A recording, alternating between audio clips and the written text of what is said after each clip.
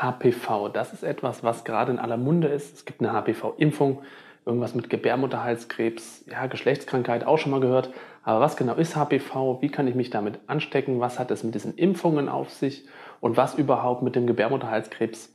Es gibt so viele Fragen, die wir jetzt klären. Auf geht's. HPV ist eine Abkürzung, wer hätte es gedacht, und steht für Humanes Papilloma Virus. Das Ganze ist Latein und heißt übersetzt sowas wie menschliches Warzenvirus. Irgendwie so kann man es übersetzen. Und in dem Namen steckt auch schon die halbe Wahrheit drin. Das ist also ein Virus, der bei Menschen so warzenähnliche Erscheinungen machen. Und Warzen ist ja nichts anderes als eine überschießende Proliferation, also ein überschießendes Wachstum von Hautzellen, eine Wucherung. Und bei Wucherung und überschießendem Wachstum fällt uns gleich wieder ein Begriff ein, Krebs. Und es hat nämlich auch was mit Krebs zu tun. Aber fangen wir erstmal vorne an. Wie genau vermehrt sich so ein Virus und wie kann so ein elektronenmikroskopisch kleiner Partikel, denn nichts anderes ist ein Virus, dazu führen, dass er bei einem erwachsenen Menschen sogar zu Krebs führen kann?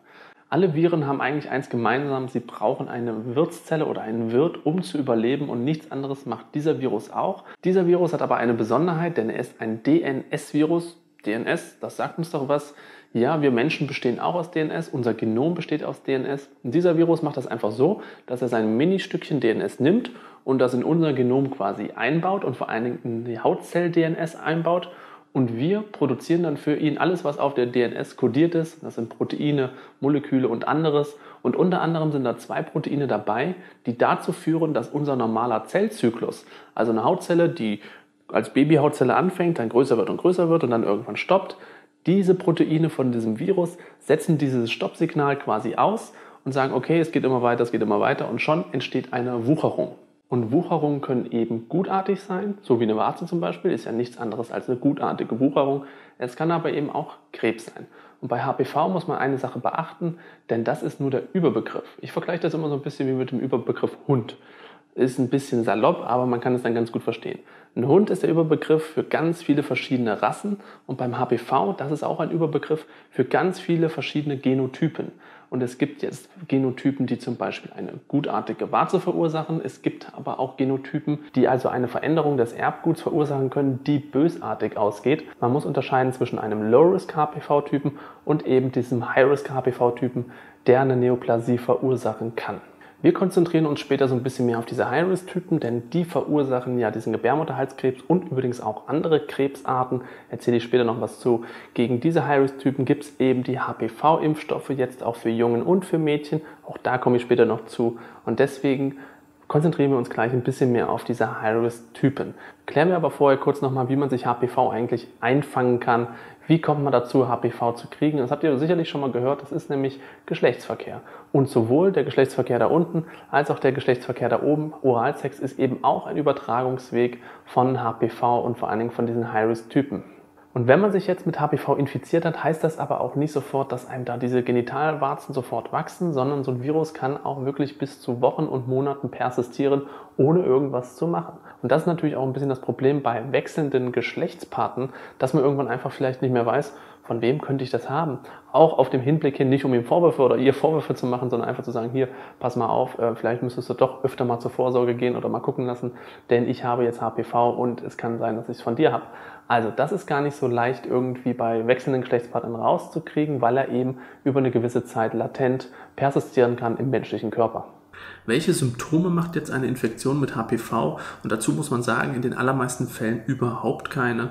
Man sagt sogar, dass jeder zweite bis dritte in seiner Geschlechtsverkehrkarriere einmal Kontakt mit HPV hat und überhaupt nichts davon gemerkt hat, weil es eben ganz oft asymptomatisch verläuft. Aber ich habe schon gesagt, der kann auch persistieren. Und dann kommt es darauf an, hast du dich mit einem Low-Risk-Typen infiziert oder dem High-Risk-Typen. Und das haben wir jetzt auch schon aufgehört, der Low-Risk-Typ, der macht eben diese lästigen Genitalwarzen. Und da ist natürlich so eine Symptomatik, wie man sich vorstellt. Eine Warze am Genitale kann jucken, kann nässen, kann rot sein. Also irgendwelche Wucherungen dort untenrum ist nie besonders schön, nicht sehr angenehm. Aber das wäre so eine Symptomatik eines Low-Risk-Typen. Und was das Gemeine ist, die High-Risk-Typen, die ja Veränderungen machen können an unserem Erbgut und dann auch irgendwie Krebs verursachen können, die machen überhaupt keine Symptome und das ist natürlich das Gemeine, das kriegt man tatsächlich nur raus, wenn man Abstriche macht und nach HPV sucht oder natürlich, wenn es schon zu spät ist und man eine Vorstufe hat von diesem Gebärmutterhalskrebs oder sogar Gebärmutterhalskrebs. Und genau deswegen wurde ja auch ein Gebärmutterhals-Screening quasi etabliert. Also diese Abstriche, die man da so beim Gynäkologen immer über sich ergehen lassen muss, die sind genau dafür da, solche Vorstufen zu erkennen, die vielleicht auch durch HPV verursacht wurden. Im nächsten Schritt fragt man sich natürlich, wie sieht die Therapie aus bei solchen Kondylomen, denn so heißen diese Genitalwarzen auf schlau. Und da muss man auch schauen, wie ausgeprägt ist das Ganze. Ist das vielleicht nur so eine kleine Genitalwarze, wo man vielleicht mit Creme arbeiten kann, oder ist es schon so ausgeprägt, dass man da eventuell auch schon chirurgisch ran muss? Denn auch das ist möglich. Es gibt so eine Vereisung, also eine Kryotherapie, es gibt eine chirurgische Laserung und es gibt eine chirurgische Absetzung. Das heißt, man trennt es einfach mit dem Messer ab. Das Gemeine ist, und das muss man wissen, ich habe es ja schon erzählt, so ein HPV kann eben wiederkommen und das ist genau die Problematik, die man vielleicht hat, wenn man jetzt gelasert hat oder wenn man es weggeschnitten hat. Heißt das nicht unbedingt, dass man es dann für immer los ist, denn diese Persistenz der Viren kann natürlich dazu führen, dass das ein paar Wochen später oder sogar auch Jahre später wieder manifest wird und man hat wieder diese Genitalwarzen und man muss wieder unter das Messer.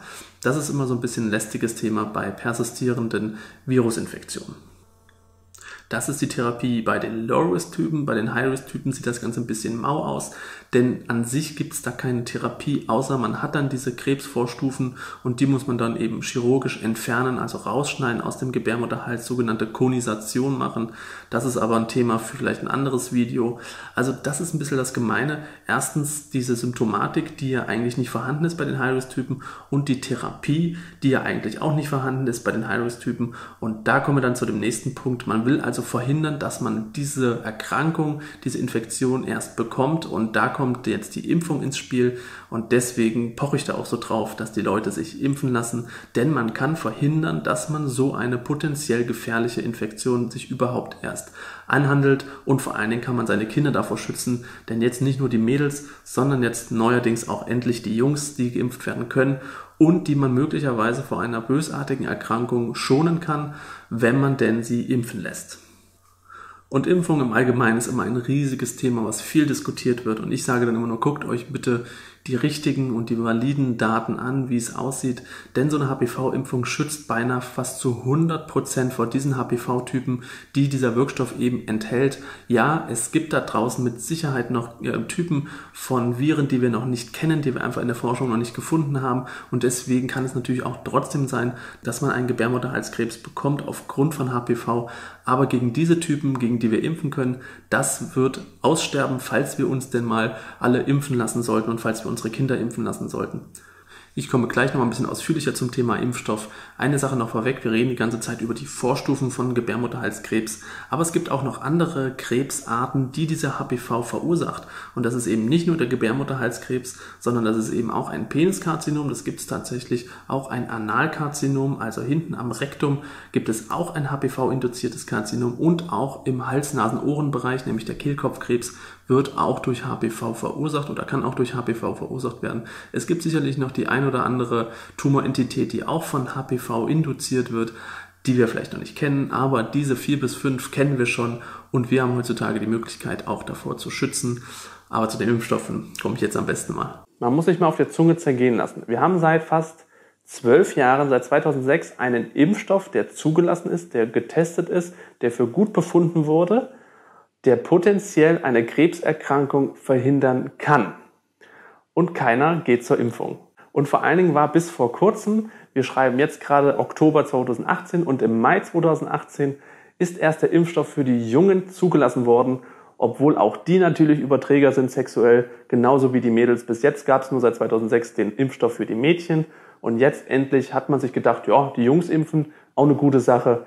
Es herrscht also eine absolute Verunsicherung mit dem Thema die auch medial bestimmt ist, leider, wo die Medien gesagt haben, uh, der Impfstoff, der macht ganz böse Nebenwirkungen und hier und da ist alles widerlegt. Da gibt's wunderschöne Daten zu. Ich blende hier einmal ein äh, Zitat ein von einer Cochrane-Analyse jetzt aus dem Jahre 2018.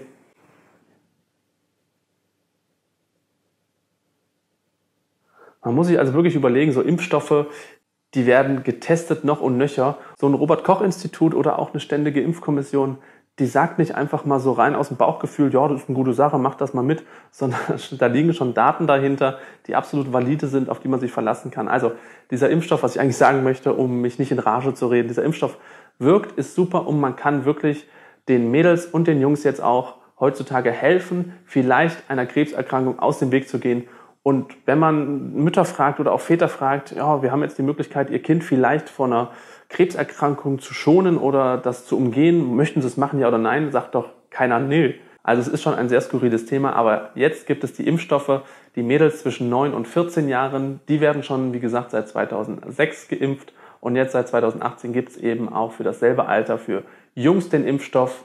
Beide Geschlechter sollten natürlich vor dem ersten sexuellen Kontakt geimpft sein, denn nur das macht Sinn, denn sobald man irgendwo sexuellen Kontakt hat und sich vielleicht da direkt HPV eingefangen hat, um salopp zu sagen, ist es natürlich schon zu spät. Wenn man jetzt den Zeitraum 9 bis 14 Jahre verpasst hat, sollte man das halt bis 17 Jahre nachholen, aber unterm Strich steht einfach vor dem ersten sexuellen Kontakt sollte man geimpft sein. Das ist eine präventive Maßnahme, um sich vor HPV zu schützen. Übrigens eine andere präventive Maßnahme ist einfach safer Sex und das sollte man seinen Kindern sowieso mit auf den Weg geben, auch um sich natürlich vor anderen Geschlechtskrankheiten zu schützen. Jetzt nicht nur HPV, sondern da gibt es ja eine ganze Palette von Geschlechtskrankheiten, die man sich einfangen kann. Also safer Sex mit Kondom ist auf jeden Fall ratsam, den Eltern da draußen mitzugeben, die es an ihre Kinder weitergeben sollen. Ich hoffe, dir hat dieses Video zu dem Thema gefallen. Es ist mir ein Riesenanliegen. Ich finde es doch immer noch spannend, wie viel Unwissenheit auch der HPV-Impfung gegenüber herrscht, wie viel äh, Falschwissen auch vermittelt wird. Also ich hoffe, ich konnte hiermit ein bisschen Aufklärung leisten. Gebt es an eure Kinder weiter, gebt es an die Freundin weiter, an die Freunde. In dem Sinne, schön impfen lassen. Bis bald. Tschüss.